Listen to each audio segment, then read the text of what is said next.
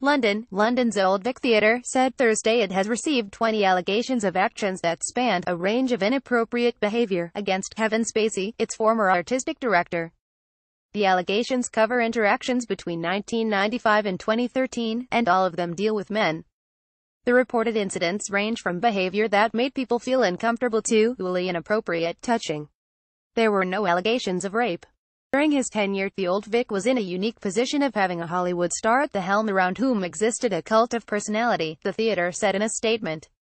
The investigation found that his stardom and status at the Old Vic may have prevented people, and in particular junior staff or young actors, from feeling that they could speak up or raise a hand for help.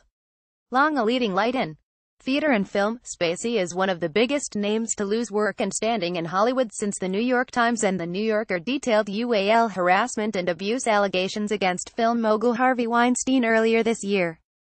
The reports sparked a wave of abuse and harassment allegations to surface across the industry. Spacey has also been fired from the Netflix TV series House of Cards and dropped by his talent agency and publicist. The allegations follow an investigation that a law firm began in October at the request of the theater, amid reports being circulated about Spacey's behavior while being its artistic director from 2004 to 2015. Richard Miskella, a partner at law firm Lewis Silkin who led the investigation, said the firm invited Spacey to participate in the investigation, and he didn't respond. Miskella said he found no evidence that suspicion about Spacey's behavior was common at the Old Vic. There wasn't widespread knowledge of this, he said.